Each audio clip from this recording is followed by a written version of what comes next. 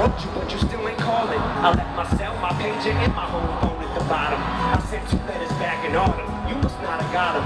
There probably was a problem in the post office or something. Sometimes I scribble addresses too sloppy when I jot them. But anyways, fuck it. What's been up, man? How's your daughter? My girlfriend's pregnant too. I'm about to be a father. If I have a daughter, guess what I'ma call her? I'ma name her.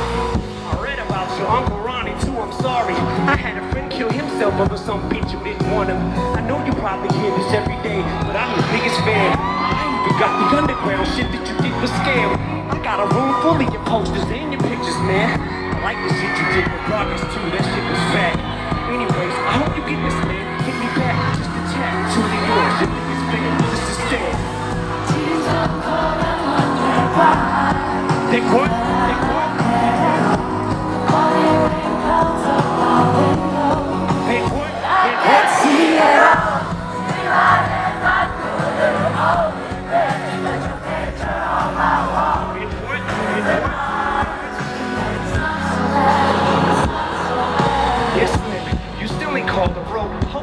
Chance. I ain't mad. I just think it's fucked up you don't answer fans.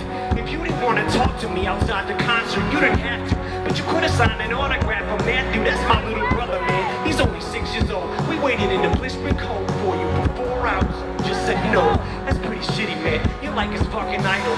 He wants to be just like you, man. He likes you more than. I ain't that mad though. I just don't like being lied to. Remember when we met in Brazil?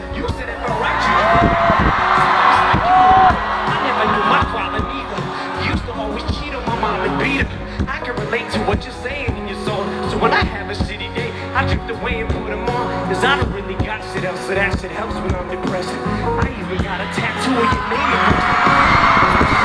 How much it bleeds. It's like adrenaline.